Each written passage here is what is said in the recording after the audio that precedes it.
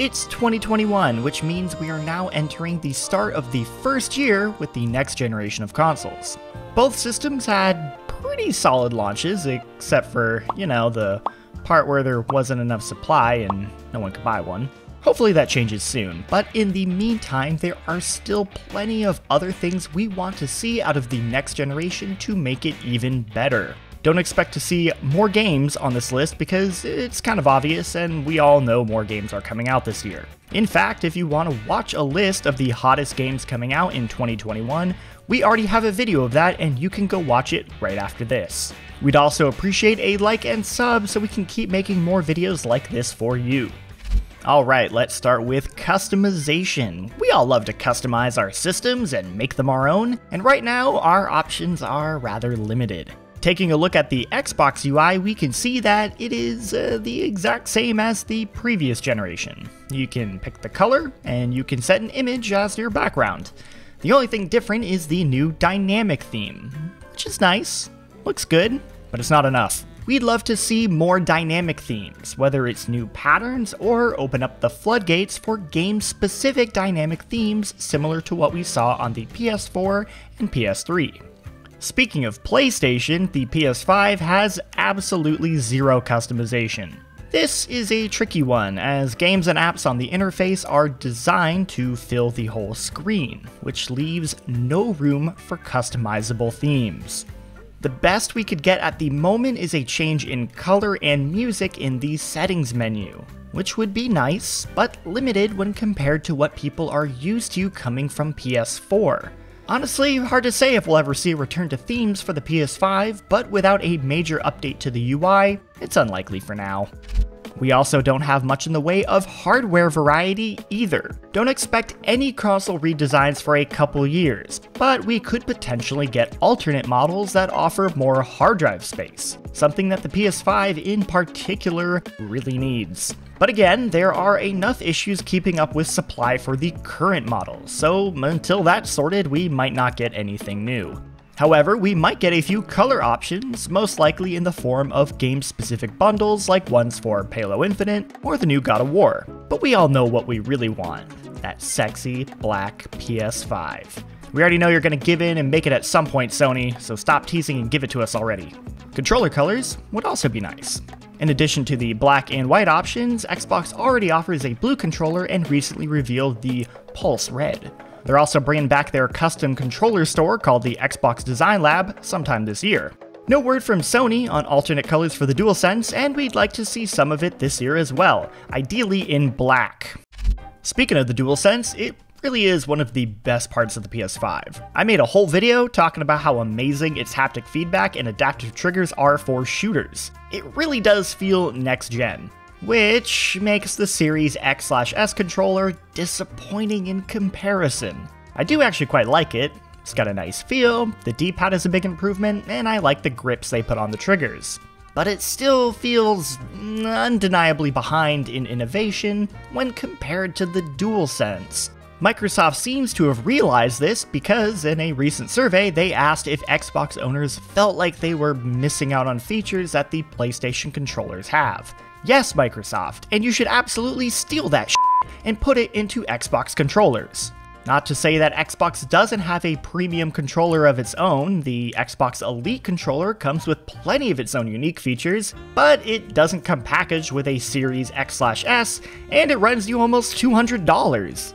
I think if Microsoft really wants to impress, they need to up their game of the standard controller that everyone gets. And honestly, this would be a win for PS5 owners as well. Adaptive triggers are cool, but do take extra work to implement, and it might not feel worth it for third party devs to spend time on features only accessible for one system. So, if both systems have it, we're likely to get it in more games, which will spread the wealth of that next gen feel that the adaptive triggers and haptic feedback bring. Now, another concept that feels truly next gen is the ability to play games with your friends regardless of the platform they're on. That's right, I'm talking about crossplay, which, yes, is something we've seen more of in the last several years, but we still aren't at the point where crossplay and cross saves have become a standard feature in most games. I was really hoping for crossplay to be a big push with the next generation, but Sony and Microsoft haven't really done anything on their end to encourage crossplay, leaving it up to developers to implement it. I do believe crossplay will slowly continue to grow, but something that would help push it forward is a way for players to interact with each other across systems. Having the PS5 and Series X/S so closed off from each other feels dated at this point, and what we need is a unified friends list and party chat system. Otherwise, we'll need to continue to rely on individual developer and publisher user accounts to make crossplay work, which is a huge pain on the consumer level. I'm looking at you, Ubisoft Connect. I don't really expect Microsoft and Sony to play nice and work directly with each other, but perhaps a third party, such as Discord, could come in and help bridge the gap. Now, something that has been a major focus of the next generation is backwards compatibility. Microsoft has been carrying over their excellent backcompat library to the Series X/S, and Sony has been catching up by making almost all of the PS4's library available on PS5. But there's always more both systems can do. For Xbox, that means bringing back their backwards compatibility program, which they put on hold in 2019 so that the team could focus on development for these series consoles. Now that the systems are out, there's an opportunity to bring back the program. After all, there are still a couple Xbox 360 games we'd like to see made available, and we've only ever got a handful of Xbox originals, and there are still a lot of great games to mine from that generation. But even more importantly, back when the Xbox One X came out, a number of backcompat titles got Series X enhancements, letting these games run at native 4K. If you've checked out some of these games like Gears of War 3 or Red Dead Redemption, then you know how transformative these upgrades can be. Sadly, that list of games remains rather small. Now is a perfect time to bring back 4K enhancements to older games. On the PS5's end, there is admittedly less to work with. As much as I'd love to see them bring back older generations such as the PS3, PS2, and even PS1 to the system, I just don't see it happening. It requires a lot of work on Sony's part, and they seem pretty happy using PS Now as their way to play games from those generations. But Microsoft did surprise everyone with their back compatibility program, so who knows. A more realistic expectation would be PS4 games getting patches to take advantage of the PS5 hardware. Ghost of Tsushima is the shining example, where thanks to a patch, the game runs at 60 FPS even on its resolution mode, giving you the best possible experience. Meanwhile, God of War still makes you choose between a high resolution at a locked 30 FPS or 60 FPS but locked at 1080p. It would be nice to see more PS4 exclusives receive similar patches that unlock their true potential the way Ghost of Tsushima has. Games like Shadow of the Colossus, Horizon Zero Dawn, Bloodborne, Death Stranding, The Last of Us Part 2, Bloodborne, Uncharted 4, The Last Guardian, and Bloodborne, to name a few. But it is worth keeping in mind that these patches would be dependent on the developers of those games, and it's up to them to decide if it's worth the time and money to go back and patch them. So we'll just have to hope for the best. Quick Resume is a nifty little feature on the series consoles that lets you run multiple games at the same time and switch back and forth between them on the fly. But it's got some issues that need sorting. Quick Resume can run up to 3 Series X/S games at a time, or 5 for back-compatible games. If you're somebody that bounces between games a lot, it's possible to go over the limit, in which case the system will boot older games off Quick Resume and shut them down without telling you. Adding a little notification that lets you know your game is going to close would be quite helpful. The other pain about Quick Resume is that currently not all games work with it, and there's no clear way to know which do from the library, which kinda makes the whole feature mm, a bit of a gamble. Until every game becomes compatible, Xbox should add a visual indication that the game is Quick Resume compatible and you're safe to leave the game on without fear of losing progress. The PS5 it doesn't have Quick Resume. We'd love to see it be added in a future update, if that's even possible. Hmm, but keep in mind that Quick Resume requires some hard drive space to hold each game's cache, meaning the inclusion of such a feature would further reduce the system's already limited storage capacity. Speaking of limited storage, there are a few things the PS5 could do to dramatically help gamers deal with the limited space available. For one, there is currently no options for expanding the storage needed to play PS5 games.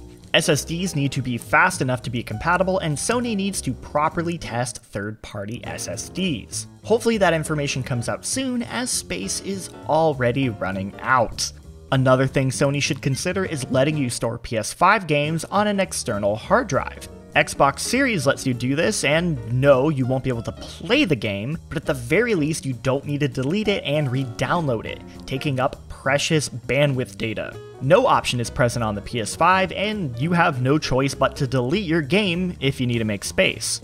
Okay, time to rapid fire a couple small but important improvements we'd like to see. The PS5 should add folder organization to help players navigate their massive libraries.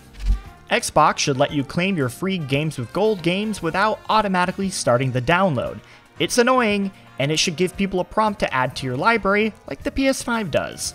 Trying to quickly access the trophy list of the game you're playing is not as smooth of a process as it is on PS4, and adding a trophy option to the control center to check your progress would help.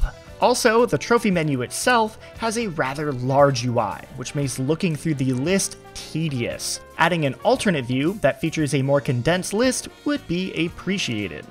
Xbox Series X/S's dedicated share button is a nice improvement, but the gallery menu itself is a bit clunky and could use some work. However, major brownie points for the gallery working with the Xbox phone app, automatically sending screenshots and videos there. It's absolutely something Sony should do with the PS5 and the PlayStation app. Whew, okay, that was a lot. If we missed anything you want to see for the PS5 and Xbox Series X/S, go ahead and throw it in the comments. As a reminder, if you want to see a video listing the biggest next generation games coming out this year, you can click on the link right here. Have a wonderful day, and let's all hope that Sony and Microsoft can sort out the whole supply and demand issue soon.